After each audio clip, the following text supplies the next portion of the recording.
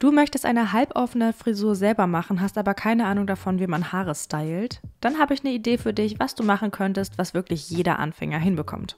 Nicht unbedingt notwendig, aber es sieht schöner aus meiner Meinung nach, wenn die Haare ein bisschen Struktur haben. Deswegen welle ich die kompletten Haare einmal.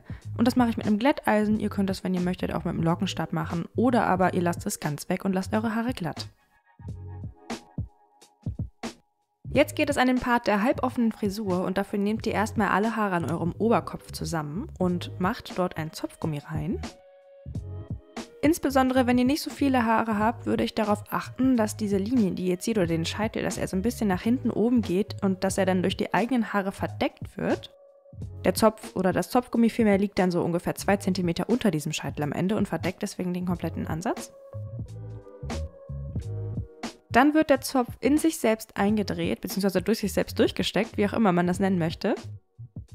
Entweder könnt ihr dafür so ein Schlaufenwerkzeug benutzen oder ihr steckt einfach eure Finger dadurch und zieht den Zopf einmal durch. Und diese Struktur könnt ihr dann mit euren Fingern aufziehen und so ein bisschen auflockern und das sieht dann gleich viel spannender aus, als wenn da nur dieses Zopfgummi drin gewesen wäre. Und mit dem Zopf, der dann am Ende rausschaut, könnt ihr machen, was ihr möchtet. Entweder ihr lasst den einfach so, könnt zum Beispiel noch eine Strähne um das Zopfgummi drumherum wickeln, dass man das nicht mehr sieht.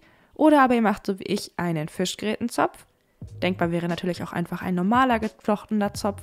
Macht da einfach mit, was ihr für richtig haltet. Theoretisch könntet ihr sogar einfach einen lockeren Dutt am oberen Kopf machen und damit habt ihr auch ganz viele Varianten, wie ihr diese halboffene Frisur machen könnt.